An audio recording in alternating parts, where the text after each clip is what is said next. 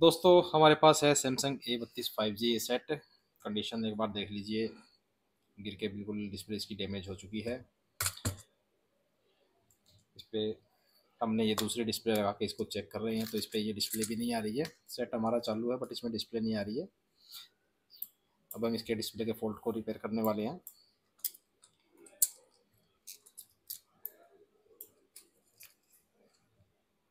देखिए।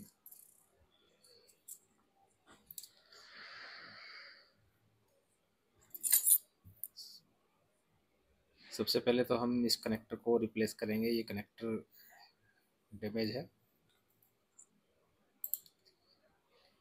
Look wise ये आपको ठीक दिख रहा होगा बट ये इंटरनल डैमेज है। सबसे पहले हम इसको रिप्लेस करेंगे।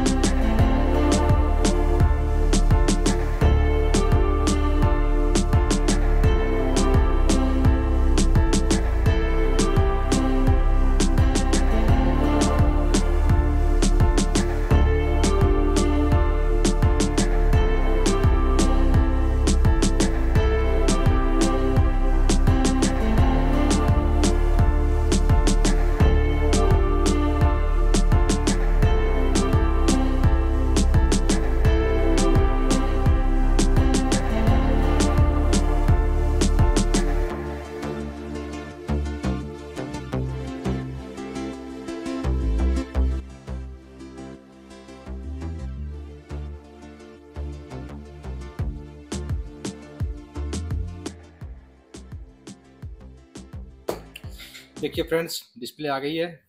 इसमें जो ये फॉल्ट था, वो डिस्प्ले कनेक्टर की वजह से था। बोर्ड का जो कनेक्टर है, ये कनेक्टर डैमेज हो गया था। देखने में तो बिल्कुल ठीक दिख रहा था बट वो इंटरनल डैमेज था। कनेक्टर को हमने रिप्लेस कर लिया है और ये डिस्प्ले जो है, वो बिल्कुल आ गई है।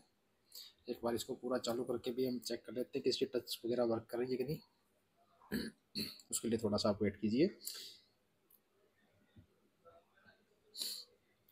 हाँ अगर आप हमारे चैनल पे नए हैं, चैनल को सब्सक्राइब नहीं किया है तो सब्सक्राइब कर लें, बेल आइकन का बटन ज़रूर दबाएँ और वीडियो को लाइक और शेयर भी करें।